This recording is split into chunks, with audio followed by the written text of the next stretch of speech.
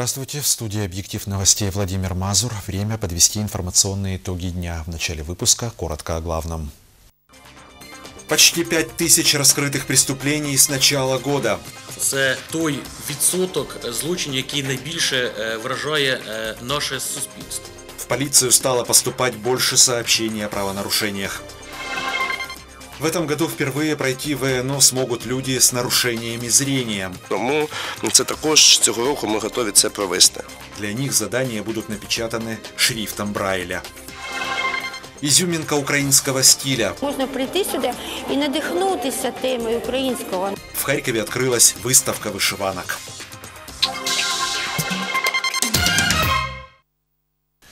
В 2018 году на Харьковщине раскрыто почти 5 тысяч преступлений.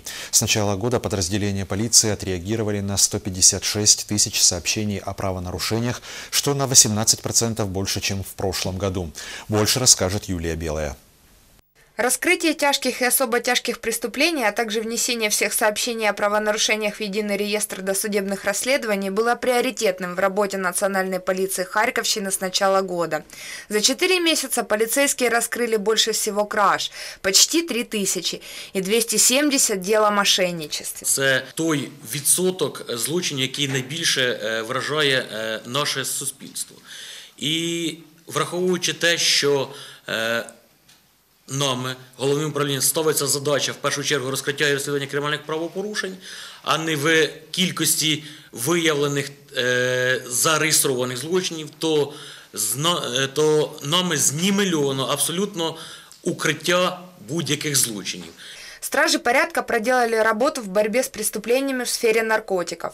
Полицейские обнаружили 162 факта сбыта наркотических веществ и прекурсоров, а изъято из незаконного оборота более 20 килограммов психотропных веществ. Діти а, допомагають, такий волонтерський, волонтерський рух такий у нас виник. Діти замальовують, закрашують е, стіни а, з номерами телефонів, де можна придбати наркотичні засоби. Ми безумовно а, будемо відмічати таких людей, які допомагають поліції, активно з нами співпрацюють. Дело о пожаре в Балаклее передано в военную прокуратуру Украины. Сейчас продолжаются следственные действия. Причиной пожара по-прежнему считают халатность военнослужащих, сообщил начальник управления нацполиции Олег Бех. Вместе с тем полицейские обеспечили безопасность при проведении почти трех тысяч массовых мероприятий на Харьковщине, на которых присутствовали более одного миллиона человек. Юлия Белая, Дмитрий Герасимов, медиагруппа «Объектив». Президент Украины Петр Порошенко с представителями церкви в Вышгороде помолился за единую церковь и мир в Украине. Глава государства прочитал молитву перед иконой Пресвятой Богородицы. В своем обращении Порошенко отметил, что Украина выбрала право не только на единую православную церковь, но и на возобновление справедливости и мира. Президент заявил, что сейчас Украина близка к получению Томаса на автокефалию православной церкви. Напомню, официальное обращение к Вселенскому патриарху Варфоломею поддержали церковные иерархи, парламентарии и бывшие президенты України. Так само, як я звертався під час звернення в парламенті, щоб Господь дарував нам єдину, помісну, православну, головне українську церкву. Так само, як і просив я, щоб ми всі разом боролися і молилися за це. це. Щоб Господь послав Україні єдину церкву щоб Господь послав нам мир. І сьогодні ми стали під час нашої спільної молитви на крок ближче до цього. І я дякую, що всі ми разом взяли в цьому участь. В Украине стартовала большая президентская программа по реформированию сельской медицины. В стране открылось первое энергосберегающее медучреждение. В ближайшем будущем украинцам будет обеспечен доступ к качественным медицинским услугам через телемедицину. Сняла кардиограмму, пожалуйста, сказала, какие высновки. Все. Президентская программа развития сельской медицины стартовала с села Боденьки Вышгородского района Киевской области. Здесь открылось первое в Украине медучреждение в энергосберегающем здании, которое потребляет на 15% меньше энергии, чем обычное. Фельдшерско-акушерский пункт спроектировали французские архитекторы. весь процес з, з тендера до сьогодні, до е, будівництва, це було зроблено за год, за рік приблизительно. Це дуже швидко. Як коли це можливо зробити швидко, це тому, що є люди, які працюють для цього, які хочуть. Коли хочешь, то можешь. Все услуги для жителей здесь будут бесплатными. В день планируют принимать минимум по 10-20 человек. В здании есть помещение для проживания фельдшера, автомобиль. При необходимости по направлению врача будут предоставляться лекарства, делать процедуры или же пациента могут отправить в районную или областную больницу. Там дуже-дуже все таке по-сучасному. Дуже все євро таке і така апаратура. Там я ну так все гарненько зроблено, так все. Ну до того там так приємно. Мені я ж кардіограму зробила і все. І з Петром Олексійовичем так близько стояла, общалася, що так я й не думала ніколи, не мечтала, що так буде. Слов нема. Радість, велика радість, що нарешті там ми, ну таке бідненьке село в нас. На сьогоднішній день нам таку будівлю збудували.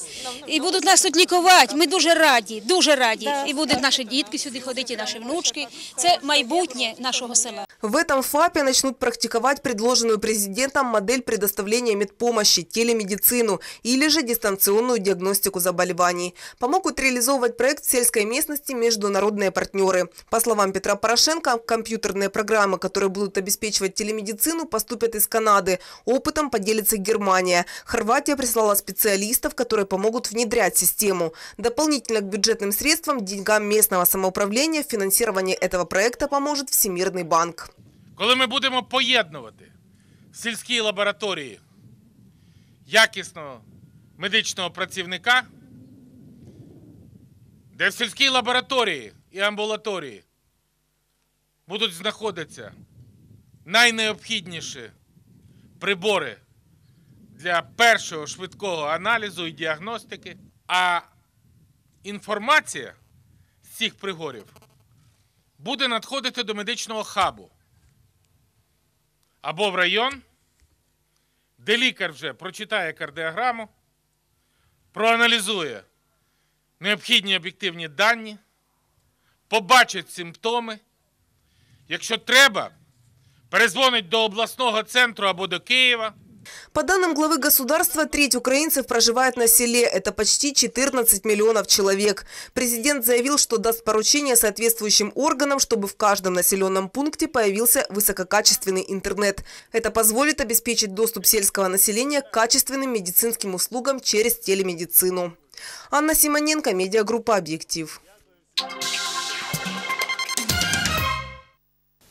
Харькове вручили награды победителям первого регионального турнира по финансовой грамотности. Конкурс на Кубок председателя облгосадминистрации проходил осенью прошлого года. В нем участвовали почти 300 студентов и школьников. Глава области Юлия Светличная встретилась с финалистами турнира во время визита в Харьковский университет банковского дела. Она сообщила, что региональный турнир станет ежегодным. Победителем первых соревнований стали команды экономического университета имени Семена Кузнеца и Харьковской гимназии имени имени Ломоносова. Также Юлия Светличная поздравила с профессиональным праздником и вручила награды лучшим работникам банковской сферы. Кожен день ми стикаємося з вами з обслуговуванням в банках, з обслуговуванням в точках продажу, з грошима, з технічними засобами. І тому ми разом можемо і повинні робити те, що ми робимо, навчати наших громадян, громадян Харківщини, наших близьких фінансової грамотності. Ми наразі запроваджуємо із вищими навчальними закладами, а також банківським союзом декілька проєктів, які підвищують економічну і фінансову грамотність харківського населення, безкоштовні курси, які надають можливість ознайомитися із цим спектром надання банківських послуг. Також запроваджуємо нові механізми кредитування і банківський сектор долучається до розвитку соціальних проєктів. Среди новинок внешнего независимого оценивания этого года отмена теста по русскому языку, два уровня сложности теста по иностранному и адаптация заданий для детей с ограниченными возможностями. К проведению оценивания в области будут привлечены 4600 педагогов. Более 21 тысячи абитуриентов зарегистрировалось для прохождения внешнего независимого оценивания в Харьковской области. Это на 7 тысяч больше, чем в прошлом году. Такое количество связано с тем, что в этом году выпускники ПТУ и колледжей ВНО проходят впервые. В 2018 для оценивания знаний иностранных языков впервые будут тесты двух уровней сложности. Продвинутый тест будет включать часть понимания речи на слух, прослушивания звуковых фрагментов и выполнение заданий к ним. Для этих целей виділено более 1 мільйона госсубвенцій. І на ці кошти всі пункти тестування з іноземної мови в місті Харкові будуть забезпечені програвачами. Е, Тут е, треба розуміти, що головне це якість звуку, якість е, відтворення англійської мови для того, щоб всі наші учні дійсно були в рівних умовах. В этом году впервые пройти ВНО смогут люди с нарушением зрения. Для них задания будут напечатаны рельефно-точечным шрифтом Брайля. Це саме харківські методисти, харківські педагоги розробили цей тест Е, на базі нашого обласної школи інтерната для дітей з вадами зору імені Короленка розроблялися, п- було впровадження, тому це також цього року ми готові це провести. Основная сессия состоится с 22 мая по 14 июня, дополнительно со 2 по 11 июля. Подача заявок на поступление в ВУЗ будет только в электронной форме. Абитуриенты смогут подать не более 7 заявлений на 4 специальности. Павел Велицкий, медиагруппа «Объектив». В Харькове проходит международный туристический форум. Больше об этом во второй части выпуска. Я передаю слово Виктории Ивашкевич. Здравствуйте, вы смотрите блок новостей экономики. Евросоюз выделит Украине миллиард долларов, а пальмовое масло могут запретить. И подробнее об этом. Европейский Союз предоставит Украине 1 миллиард евро макрофинансовой помощи. По информации Европарламента, Комитет по иностранным делам парламента ЕС проголосовал за предоставление Украине среднесрочных и долгосрочных кредитов. Сумму порядка миллиарда долларов планируют выплачивать в двух траншах. Первый во второй половине этого года и следующий в начале 2019 Европарламент при выделении денег указал поправку. Состав Центральной избирательной комиссии Украины должен представлять все политические силы страны.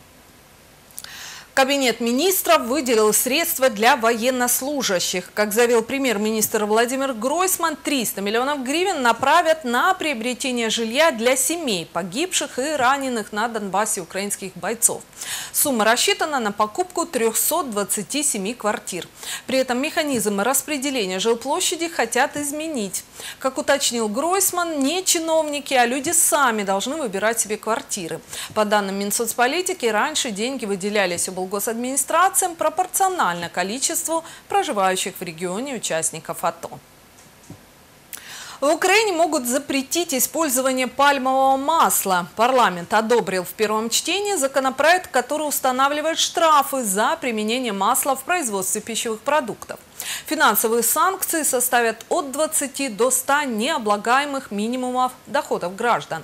Если нарушение произошло повторно, то штраф вырастет вдвое. В законопроекте отмечается, пальмовое масло является вредным продуктом, однако его применяют для удешевления молочных и кондитерских изделий.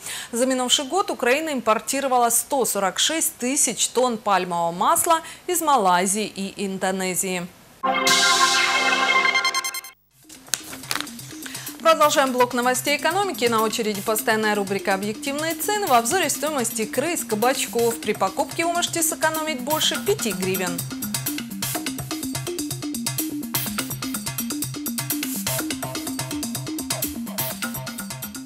И в завершении курс валют от НБУ. Доллар 26 гривен 21 копейка, евро 31,15 и швейцарский франк 26,15. И на этом у меня все. Продолжит выпуск Владимир Мазур. Я вам желаю удачи в делах и до встречи. Вы смотрите «Объектив новости». Продолжаем выпуск. В Харькове проходит 10-й международный туристический форум. Среди приглашенных на съезд чиновники из Украины и из-за рубежа, представители туристического бизнеса и эксперты отрасли. На мероприятии обсудили привлекательность для туризма культурного наследия Украины. Нихаль Гёка приехала в Харьков на международный туристический форум из турецкого города Газиантеп. На съезде Нихаль представляет свою страну и проводит мастер-класс по традиционной мозаике.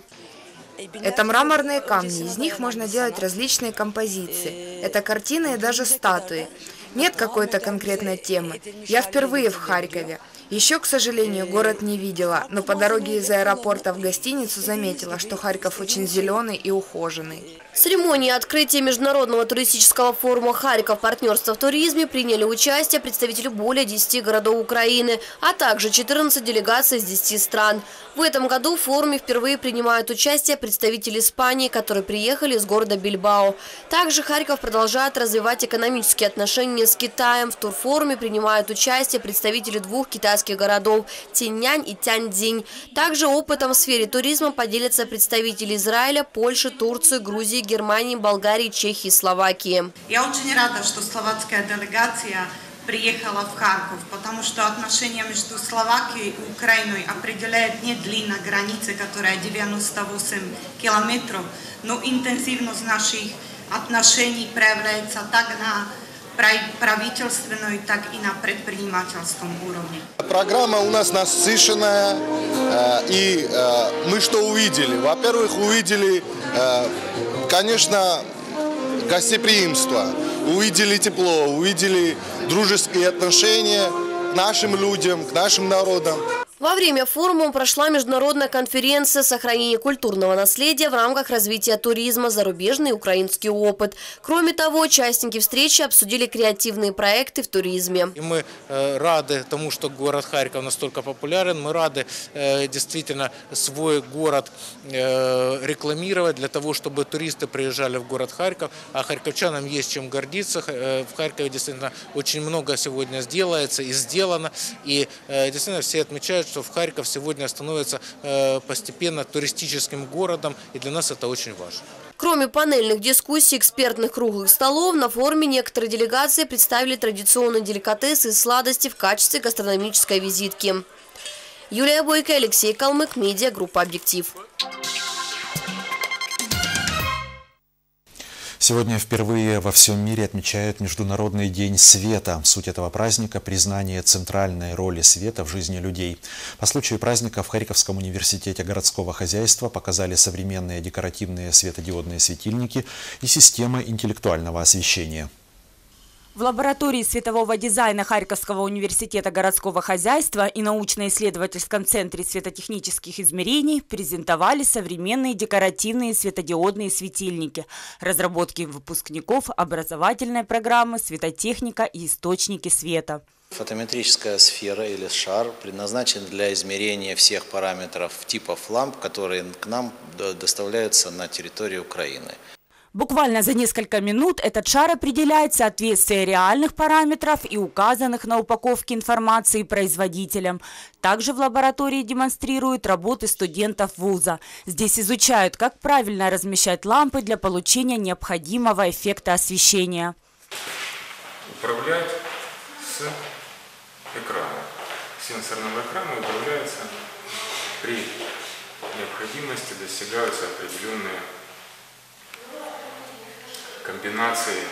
Год назад 39-я сессия Генеральной конференции ЮНЕСКО провозгласила 16 мая Международным днем света.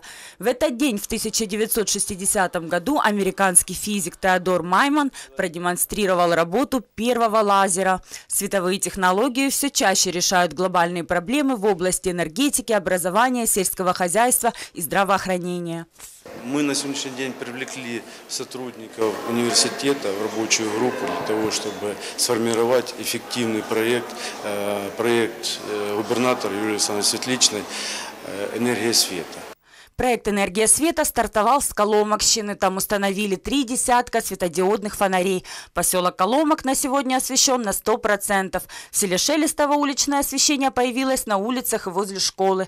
Теперь работы ведутся в Дергачевском районе. Планируется в Кочубеевке, селах Малые и Большие проходы. И в самих Дергачах. До конца года станет светлее почти в 140 населенных пунктах. Решить все проблемы с освещением в области планируют до 2021 года. Ольга Куриленко, Александр Лагутин, медиагруппа «Объектив».